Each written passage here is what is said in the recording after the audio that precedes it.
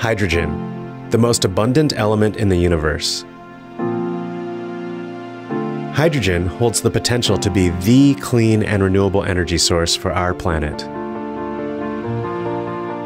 And with the world's population projected to reach 9.7 billion by 2050, our demand for energy will only increase. The need to reduce greenhouse gas emissions to combat global climate change is becoming increasingly clear and more urgent. A global energy decarbonization transition is underway as we replace reliance on fossil fuels with renewable, zero emission sources of energy. But clean burning hydrogen comes with an array of challenges, including the safe and cheap transportation of H2 at scale. The US has over 3 million miles of existing natural gas pipeline already in place. And experts widely believe that repurposing these existing networks to safely carry hydrogen is key. If large amounts of hydrogen were to be transported via natural gas pipelines today, the dangerous phenomenon called hydrogen embrittlement would lead to leaks, pipe failure, or even explosions.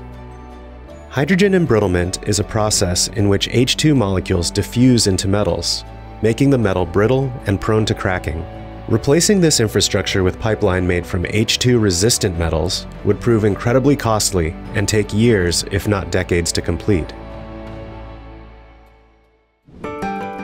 Hydropel is a nanoscale surface treatment that can be applied in place to existing steel pipelines. Hydropel both protects against embrittlement and also creates an ultra slick, low surface energy coat that reduces drag and throughput costs.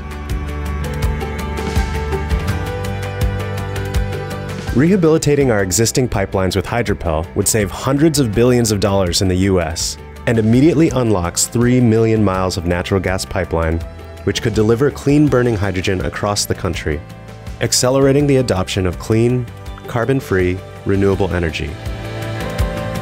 Hydrogen energy is critical to global energy decarbonization.